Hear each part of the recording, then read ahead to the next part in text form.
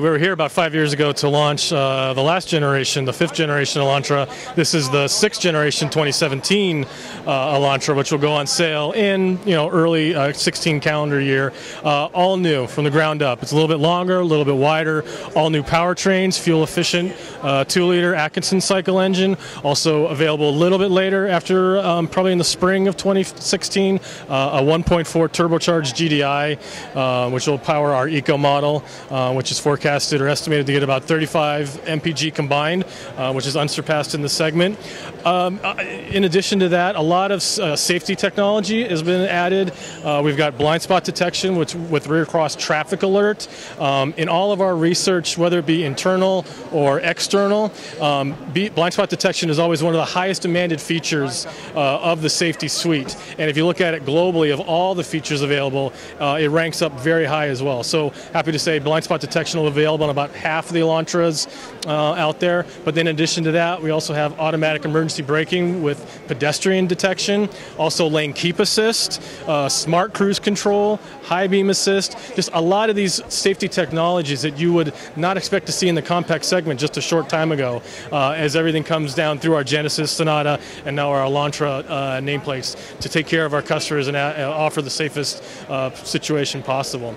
Rear view camera seems to be uh, standard now in many vehicles, but all the technology that you just cited is still an option available, not part of a standard package. Yeah, absolutely. Not not standard, uh, available part as an option package. And you mentioned rear view camera. We actually added uh, dynamic guidelines to that for the all new car, so you can actually, when you steer, you can actually see exactly where it's intended. Which I think it's a small thing, but it's kind of a customer delight. Um, expect something you expect to see in you know higher spec, uh, more premium vehicles, things like that. We've also added Infinity uh, premium audio system. It's got eight speakers, including a center channel and a subwoofer.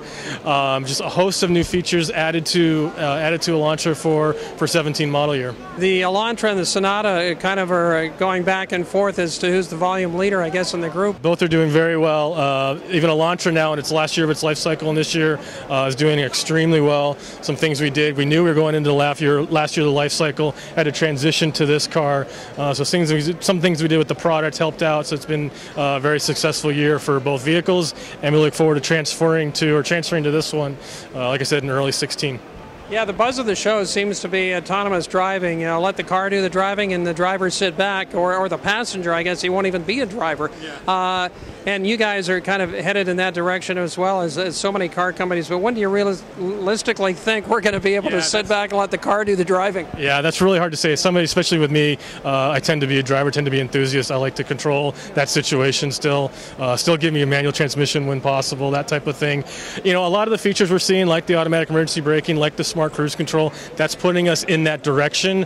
Um, it's the next step. Uh, it's, it's one of the steps in the whole process, but I think still a lot of things need to be sorted out about um, uh, issues, laws, everything else um, to, full, to fully get to autonomous driving. Right, that's more of a safety net now than it is, but I mean it's a pretty uh, significant safety net to have those uh, warnings and actually braking features. Right. Yeah, it's not just the warning, it's the actual active application of brake force. Uh, like with the automatic emergency braking, it'll be a little bit light, and then depending on what it calculates as its closing distance, I mean, it will give you full emergency, full brake pressure uh, to help you stop in time before you inter- uh, impact a vehicle or pedestrian in front of you. So, yeah, it's no more, we've gone from warnings to actual active application of, of brakes and, and throttle technologies. So, I guess yeah, moving on down the line, maybe the passenger can just kind of sit there with nobody in the driver's seat. But uh, I don't know, still give me the driver's seat every time.